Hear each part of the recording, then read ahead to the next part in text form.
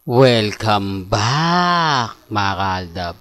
Ito na naman po ang inyong lingkod, si Mr. Destiny. At magbibigay po tayo ng pinaka-latest at talagang mainit na mainit ngayon sa social media. Pag-usapan naman po natin ngayon si Alden Richards. Marami kasi nagtatanong sa atin, Mr. Destiny, ano na nga po ba? Kailan na nga po ba ipalalabas ang pelikula nila Julia Montes at Alden Richards na inaabangan at talagang napakaganda? Well, totoo naman po. Basta Julia Montes yan, Alden Richards. Alam naman po natin na inaabangan po talaga. Ang kagandahan nito mga kaaldab, etong August, ay nakuha po nila Alden Richards yung simpatya ng mga netizen. Na talagang masasabi natin na kumbaga ito siguro yung magiging biggest na talagang masasabi natin na alam nyo na mga kaaldab na talagang pagpepiestahan sa social media. Sinasabi ko lang po ito dahil naglabas na naman po ng bagong update itong si attorney o si executive producer ng Sparkle Artist Center na si Annette Goson, mga kaaldab.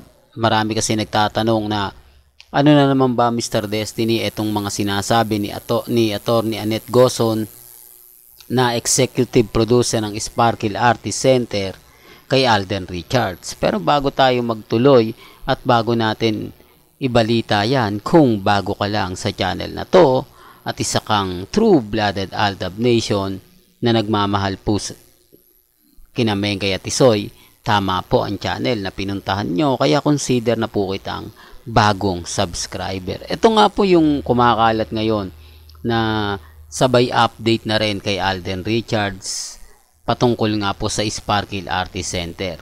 Meron nga po ngayong bagong-bagong project na nakaalaan kay Alden Richards na gagawa nga na naman daw po ito ng bagong pelikula pagkatapos nga po ng Julia Alden. Pero nasa loob daw po ng Sparkle Artist Center ang magiging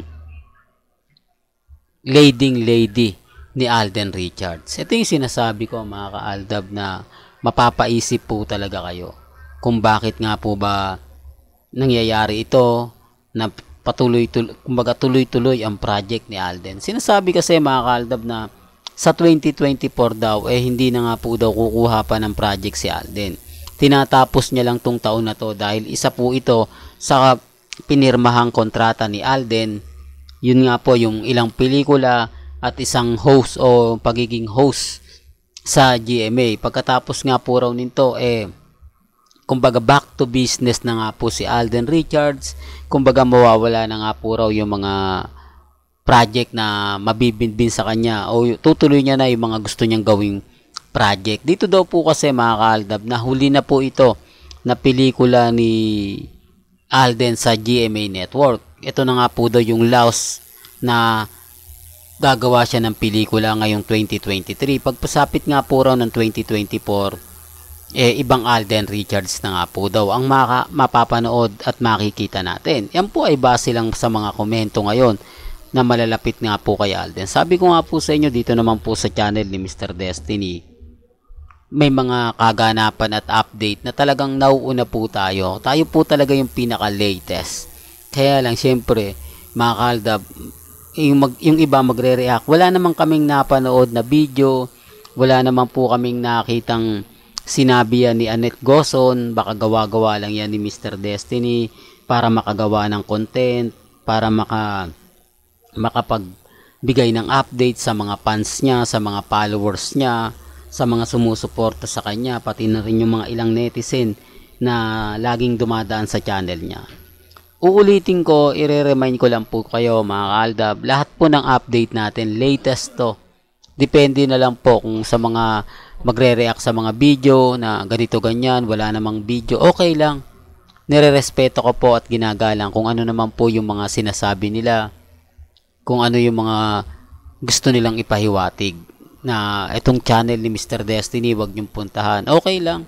Kasi tayo naman po pagdating sa pagbibigay ng update, late, latest na latest tayo eh. Kaya nga po dun sa mga kumakalat na sinasabi ko na ayaw magpa-interview ni Mengay pagdating ang usapan sa kalsakalan. Totoo naman eh, bitter lang po sila kasi kasi kung titignan niyo mga kaaldab, Sino nga po bang artist ang reporter na ayaw pag na interviewin sila Mengay at si Congressman Spotted ng one and one? Ibig kong sabihin, kung ano po yung nakita natin kay Maha na interview, eh hindi natin nakita kay Congressman Spotted at kay Mengay. Di po ba? Wala itong magandang yung tipong nasa loob sila ng isang pamamahay o nasa loob sila ng exclusive na bahay nila o exclusive interview na katulad nga po ni Julius Babaw, ni Tintin, yung tipong ini-interview sila ni MJ Marpori, yung tipong gustong malaman kung ano na nga po ba na-develop sa kasal, kung ano na ngayon yung plano nila, bakit si Mengay tuloy ang trabaho, di po ba yung sasabihin ni Congressman Spate, de, tatapusin lang ni Mengay yung etong 2023, pagtapos ng 2023, cool off muna siya sa mga project niya. Di po ba, sinasabi ko dito ha, mga kalda, base po ito sa mga kon- reaction din po ng mga netizen na tama naman po yung mga sinasabi nila na dapat sasabihin nila bakit Mengay na nagbumalik trabaho ka agad, wala ba kayong balak na maghani mo ng matagal, kumbaga etc. etc. parang kay Rambo at kay Maha. Wala po, wala pong interview. Di pa si Maha at si Rambo may interview eh, no? Dito bitter sila sa akin eh. Dito bitter sila sa mga sinasabi ko. Dito, pagka ganyan yung balita ko, marami magre-react. Ba't ka ba nakikialam sa mga... Hindi po tayo nakikialam sa buhay po ng dalawa. Wala po tayong pakialam dyan. Ang sinasabi ko lang, yung opinion po ng mga netizen na nagko-komento. Hindi po ba? Bakit ayaw nila magpa-interview, sabihin nila yung plano nila. Di po ba? Showbiz eh. Eh anong silbi pa nang bumalik sa showbiz si Mengay?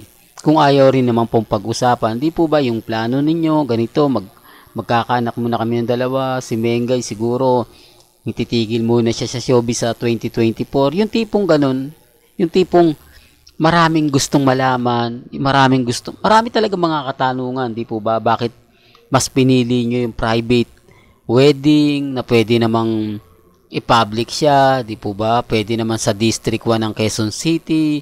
Bakit kailangan nyo pa sa Baguio ganapin? At bakit yung donation ganito ganyan? Bakit nilihim nyo sa mga fans? Di po ba? Yung tipong ganun. Ako mga kaldab, sabi ko nga po sa inyo si Bossing Big Soto, kinasal, di po ba? Kita nyo naman po.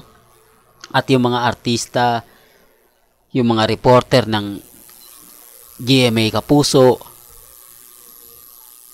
Eh, to, kung titignan nyo lang po, ah, sinasabi ko lang po yung mga nagiging reaksyon ng mga netizen. Sinasabi ko lang po yung mga opinion. Kaya nga po latest po tayo eh. Hindi lang po nila magawang basagin tayo dun sa mga pinapaliwanag ko kasi talagang totoo naman po. Dito sigurado marami magre-react sila, magre- marami magre-react. Nako, hindi totoo yan. Walang interview si at- attorney Annette Goson dahil gawa-gawa lang yan ni Mr. Destiny. Okay lang naman po. Sabi ko nga po sa inyo, kung ano lang yung latest, kung ano lang yung trending, dun lang po tayo. Basta kung ano lang po yung pinakasariwang update, yan lang naman po yung ibibigay ko. Real talk pa mga. Well, hanggang dito na lang po yung updates natin ha. Kaya kung gusto nyo pa po ng pinaka-latest at sariwang update, abay tutok lang po kayo sa channel ni Mr. Destiny para updated po kayo sa mga latest at sa mga bagong project po na ilalabas po natin maya-maya lang. Hanggang sa muli, salamat po sa panonood at pakikinig.